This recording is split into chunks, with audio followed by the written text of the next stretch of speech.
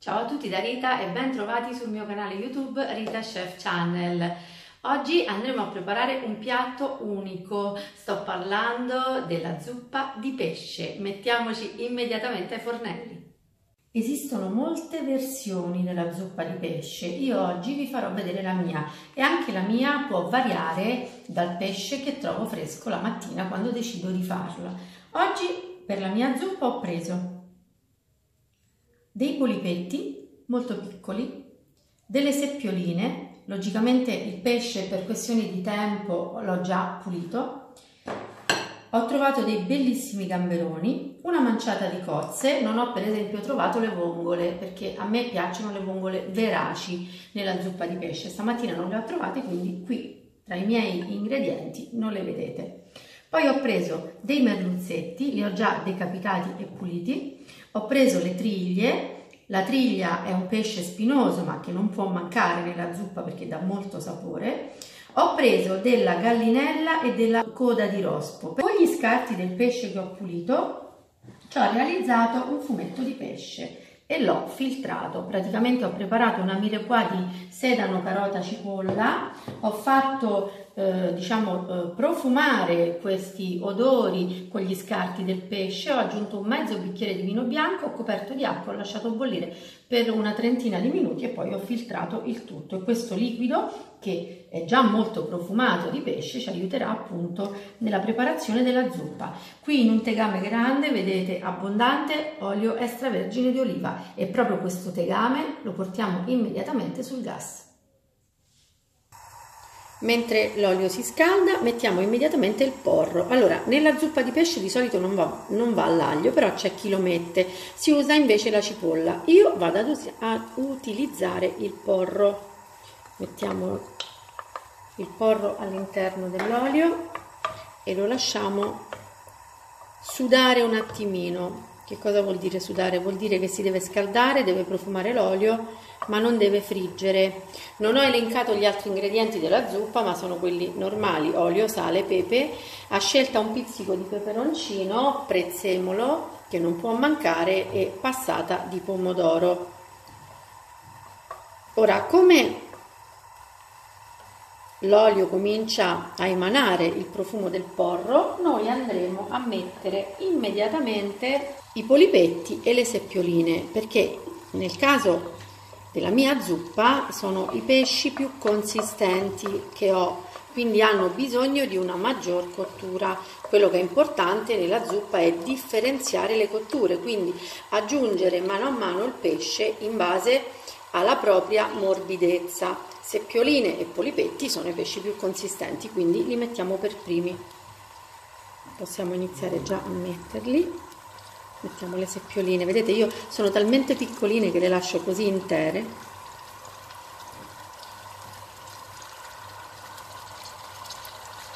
La stessa cosa ai polipetti. Mi raccomando quando puliamo i polipetti togliamo qui al centro il rostro quello che trovate quella specie di occhio nero che è qui all'interno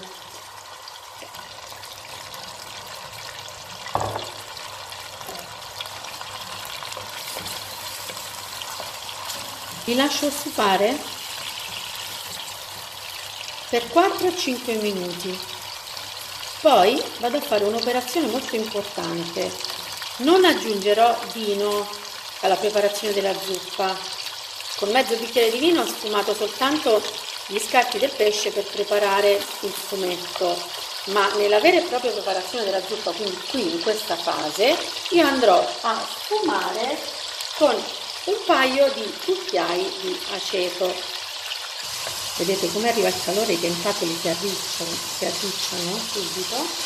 E noi adesso andiamo a mettere questi due cucchiai di aceto.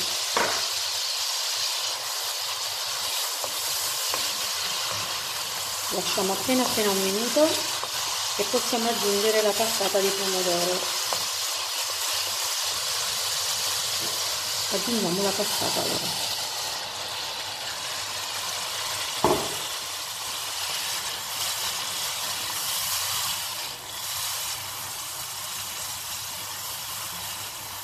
chiudiamo tutto e andiamo ad aggiustare di sale e di pepe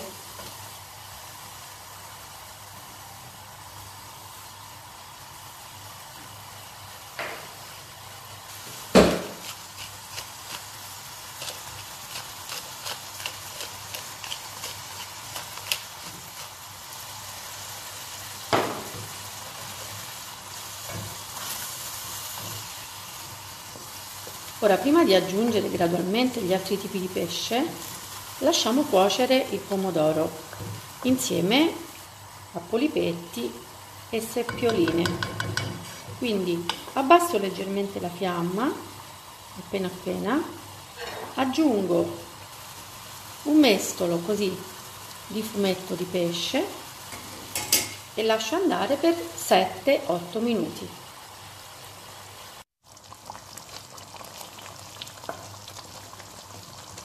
Ora è arrivato il momento di aggiungere i merluzzi.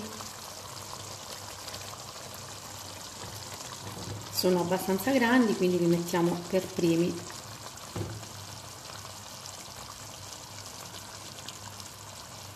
E a seguire metto le trigliette intere. Una cosa molto importante, non facciamole rompere. La triglia dà molto sapore alla zuppa di pesce, però tutti voi sapete che sono molto molto spinose quindi evitiamo di farle rompere.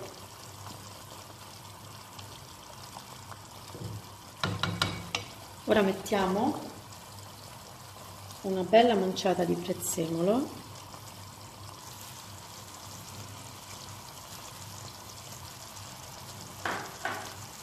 E lasciamo cuocere adesso andrò a chiudere con un coperchio aggiungo un altro mestolino di fumetto e lascio cuocere per una decina di minuti. Dopodiché, dopodiché andremo ad aggiungere i filetti già puliti i gamberoni e le cozze. Io le cozze le metto alla fine perché sono veramente una manciata saranno 6-7 cozze. Se voi ne volete utilizzare di più invece dovrete aprirle da parte, vi consiglio di aprirle da parte, le mie sono poche poche quindi le metto alla fine e si apriranno e rilasceranno alla zuppa quel tocco in più con la loro acqua. Vorrei che foste qui con me per sentire il profumo. Ora aggiungiamo i filetti di gallinella, li adagio così da una parte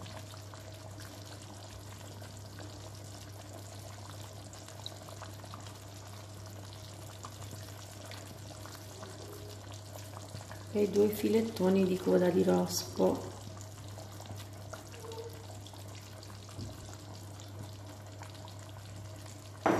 Lasciamo ancora 5 minuti e da ultimo aggiungeremo gamberoni e cozze. Ora mettiamo i gamberoni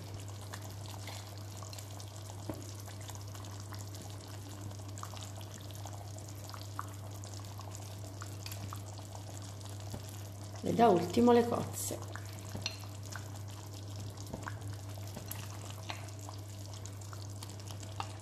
Fra qualche minuto io, come le cozze si apriranno, andrò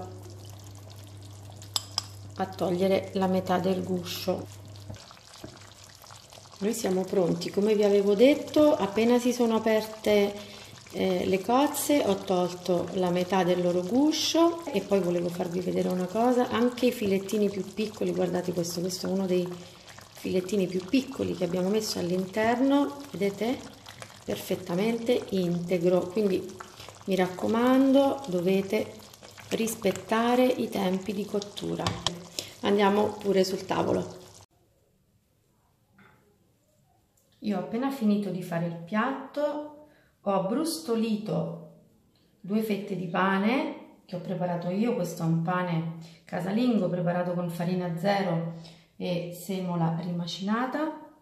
Sto mettendo qualche fogliolina intera questa volta, vedete, in questo modo, soltanto per il colore, un'ultima macinata di pepe e possiamo andare in tavola.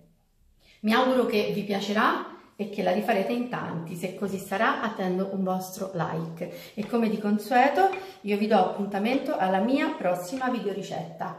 Vi invito come al solito ad iscrivervi al mio canale se non siete ancora iscritti, condividere le mie video ricette sui vostri social e attivare la campanella per ricevere le notifiche dei miei nuovi video. Un grande abbraccio a tutti voi da Rita.